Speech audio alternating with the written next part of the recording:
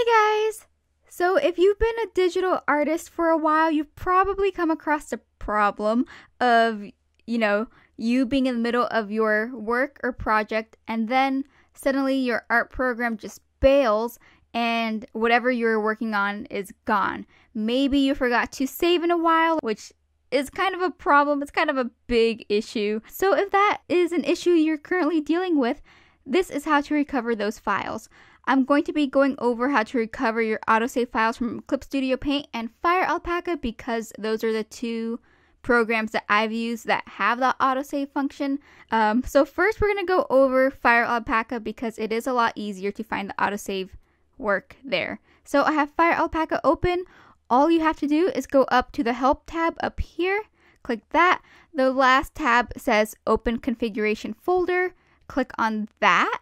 And then you'll see right here it's going to say autosave backup. Double click on that and here we are. And you'll see I just downloaded Fire Alpaca to show you guys how to do this, but I have three different files that I quote unquote worked on. Um, the last, the third one is the real was the real tester. So I found out that Fire Alpaca will autosave on top of each other. I don't how to explain this. Each one of these are separate files. They were not all from the same project. Um, so when it autosaves, it replaces the last one. Um, I'm only mentioning this because Clip Studio Paint does it differently. If you're not sure that Fire Alpaca is autosaving your work, all you got to do is go to the File tab, click on Environment Settings, and then you'll see right here it has the autosave option right here. And then I have my check marked to enable autosave function. So that's how I know it's going to autosave. I'm not exactly sure how often it autosaves, um, but I I kept checking continuously while working on my doodle, and it saved pretty often. I was actually pretty impressed. Um, so yeah, that's how you find your lost autosaved files on Fire Alpaca.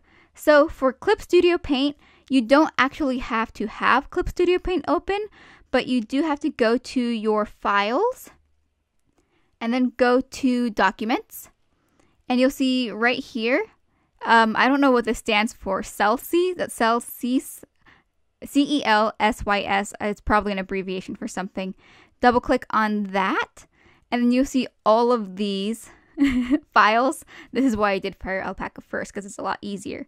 Um, so when you find all these files go to clip studio paint data double click on that and then there are three different like recovery folders. The one that has the most recovery folder files will be document backup. Double click on that. And mine shows up as a detail list, but if I just go to view and then go to extra large icons, you can see that unlike Fire Alpaca, it saves, it auto saves like different files. So you'll see like just a head, head, hand, this is a completely different picture. um, yeah, just different stages of the line art and then the coloring. Um, and for Clip Studio Paint, to check if that is being auto-saved, you do have to open Clip Studio Paint for that. so let me open that. And then you go up to File and you go to Preferences. Click on that.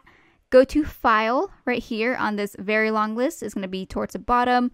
And it's the very first thing at top, at least for me where it says restore, enable canvas recovery, saving interval for restoration info, and mine is saving every 15 minutes.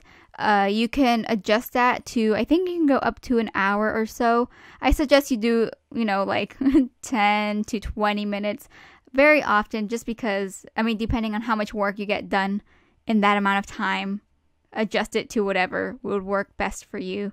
Um, so, yeah, that's how you know your autosave is working or is being enabled. And yeah, so that's how you go to your recovery files. And that's the end of that video. Something quick and short and hopefully really helpful to you guys.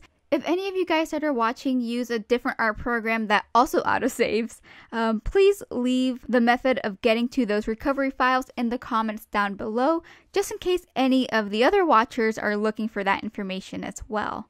Anyways, thank you so much for watching. Please be good outlets, and I'll see you guys next time. Bye!